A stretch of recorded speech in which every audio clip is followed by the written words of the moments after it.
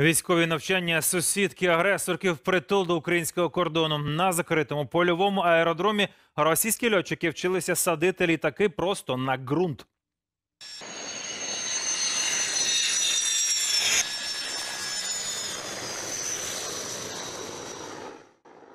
Навчання авіації відбулося за 30 кілометрів від кордону з України в Ростовській області. Міноборони РФ задіяло штурмовики та військово-транспортні літаки Іл-76. У небі прикривали гелікоптери Мі-24, які мають зенітно-ракетні комплекси. Окрім тренувань посадки літаків на ґрунті, військові завезли на аеродром озброєння і боєприпаси, а також облаштували пункти ремонту військової техніки.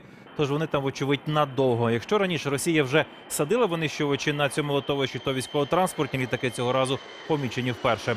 Це свідчить про можливу передислокацію військ бойовиків на Донбасі, зауважують експерти. Отакий захід, як зліт і посадка на необладнані аеродроми, це серйозна розвідувальна ознака саме наступальних дій і повернення авіації після нанесення ударів. То має бути серйозно посилена і артилерія, і безумовно наші танкові засідки.